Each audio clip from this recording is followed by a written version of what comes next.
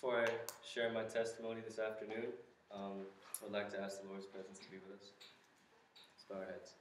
Dear Heavenly Father, we thank you for another day of life. Uh, we thank you for protecting us. We thank you for your love and care, and we thank you. I thank you for this opportunity to be able to share my testimony um, with my brothers and sisters in Christ, Father. I pray that you would speak for me, uh, that your words may uh, touch someone's life here today and uh, change the way they think about you for the better. Christ's name I pray, amen. Amen.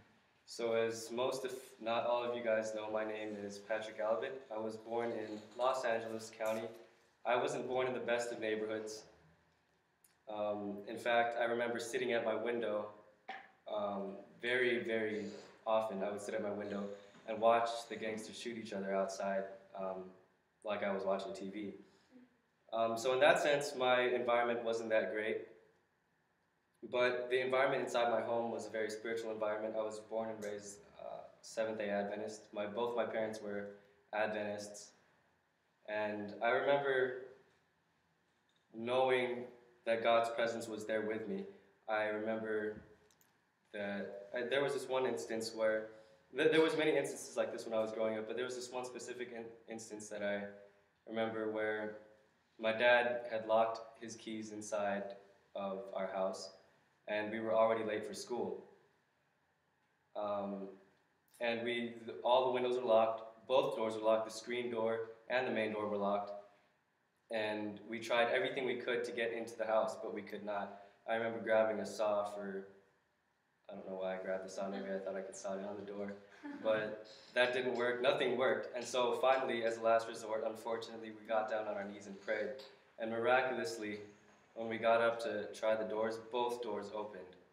And that's just one of the many instances I, I remember um, growing up, proving God's existence in my life. So I knew He was there.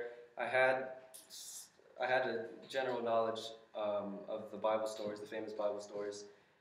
And I had the faith of a child growing up. Um, but when we moved to Orange County, everything started to go downhill. I attended public school from grades three through six, and you guys know how peer pressure works. I became influenced. Um, I started to follow the crowd. I turned into a punk rocker. I started listening to the music. I started dressing like them. And I started to learn to cuss here and there. I wasn't that big of a cusser. I didn't. I actually didn't like cussing. I just did it because everybody else did it. And uh, I don't know if this is possible or not, but I believe I grew up to be I, I was like a natural video gamer, I guess. I just I just gravitated toward video games. You know how people have their have their little um, the, the, the things that they struggle with most in their lives. Uh, some people struggle with music. Some people struggle with movies. Just a whole bunch of different things that Satan uses. Mine was video games. Um, I I just recently just got over it. In fact, and um, my grandma practically forced my parents to buy uh, me a PlayStation 1 when it first came out, and that didn't help at all. In fact, I became more of a video gamer.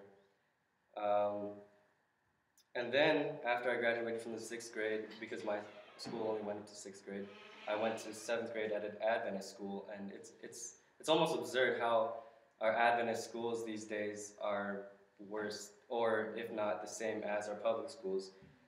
Um, and once again, peer pressure took its course, and I gradually shifted from punk rocker to gangster because punk rockers were looked down at um, or frowned upon at, at my new school. Here I learned to be perverted. I learned to cuss even more. I got into fights, like we would have tournaments in our locker room, um, like fist fights. Um, I started to listen to like rap and hip hop. I uh, it, it, was just really bad, and everybody had this game called Diablo. Uh, the game, the, the, the, name explains itself. Uh, it's a bad game. Don't play it. In fact, don't play any video game. Just that that game was it was really bad. Everything about it was demonic, and uh, everyone played it online, and so I would play it as well. I remember, and, and and all throughout this time, my addictions to video games grew even more and more. And it got so bad to the point where, where my parents would lock my video games inside their room. um, closed all the windows, like pretty much closed off any entrance to their room because their computer was in there with internet and my video games were in there, so I wasn't able to do anything. And um, my, if I wasn't able to play my video games, it got, my attitude got really, really bad. And my parents saw this and they saw that I needed to change for the better, so they sent me to Weimar Academy. Praise the Lord. Uh, the academy, God used the academy to change my life 180 degrees around. Um, when I first got there, Mr. Cosman can probably attest to this. He was a, a teacher there. I wasn't the best of students. Uh, I was, in fact, a horrible student. Um, I remember doing the same things I did uh, before I came to Weimar. But so pretty much the only thing that changed between um, the time that I left my old school to the time I came here was, or the first year I was here, was my head knowledge of God. I had a ton of head knowledge of God that year uh, through through the teachers, but I still didn't have a relationship with Him. Unfortunately, wasn't emphasized as much to have a relationship and a devotional life with God. So I had a whole bunch of head knowledge. I just didn't have a relationship with Him. Um, so I went back in the summer. I still continued to play video games. I still continued to listen to bad music. Um, I still continued to cuss. And but junior year, I came back. Surprisingly, I came back. I wanted to come back, um, even though I uh, originally didn't want to. I just wanted to do my year and leave and go back to my old school. But God brought me back to Weimar Academy, and this is when really think, when things really started to change because God placed the responsibility responsibility of being head RA um, on me, and the, it started to change because I realized that everything I did influenced the people around me for either the better or the worse. And so, if I did something bad, it could very well mess them up for eternity.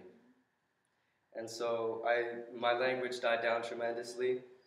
I stopped listening to bad music, and I had a small devotional life because it was more emphasized that year.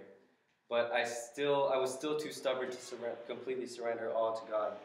So I came back in the summer, battling with my um, conscience as to whether or not to play video games. I ended up playing anyway. And I came back senior year, um, and I did pretty well that year spiritually. I was God was really working in my life, but the one thing I did not realize was that I was still holding on to some some some sins. I didn't even know what they were. I just I thought I had gotten rid of video games, but in reality, in this past summer, I fell.